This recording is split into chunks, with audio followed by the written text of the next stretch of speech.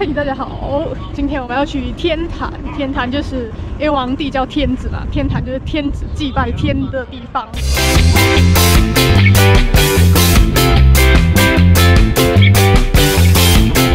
那这棵树叫做九龙树，据说呢，乾隆就是因为摸了这棵树，卧病在床三年的母亲就起来，所以过后呢，大家来这边都要讲摸那个树。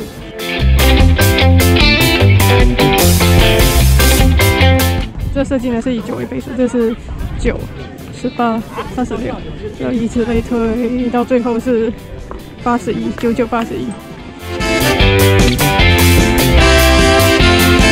来了天坛标志性的建筑就是这个祈年殿，这祈年殿呢，就是每次都会看到它，然后它的屋顶是蓝色的，就代表就是很靠近天的意思。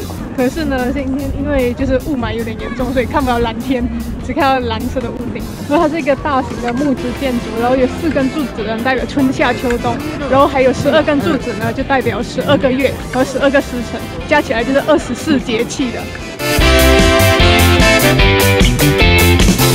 那北京除了天坛呢，还有地坛、跟热坛、跟月坛，所以像天安门也是有地安门哦。来到北京才知道，所以我们现在要去地坛，因为我们来到了地坛，地坛呢就没有天坛那么有名，而游客也少很多，然后呢票价也便宜很多，然后进来只要两块钱，然后里面的景点呢需要五块钱，所以我们去地坛看一看。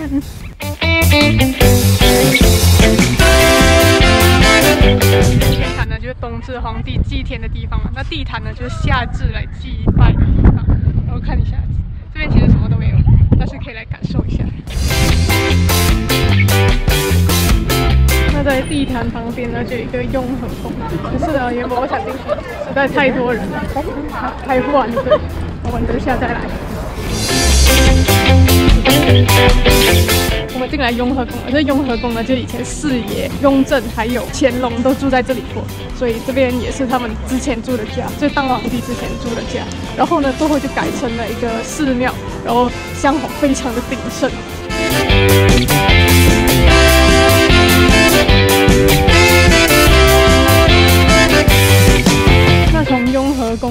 分钟呢，就走到这个孔庙和国子监，两个景点是连在一起的。左边是孔庙，然后右边是国子监。孔庙呢，就是以前皇帝来祭拜孔子的地方；它这个国子监呢，就是以前的大学府，就是从这边毕业出去呢，一定会当官的。然后皇帝呢，也会特地来这边讲课。里面呢，就有一个龙椅，就是皇帝来讲课的地方。那今天影片就到这里，喜欢的话记得订阅、按赞、分享，我们下期见，拜拜。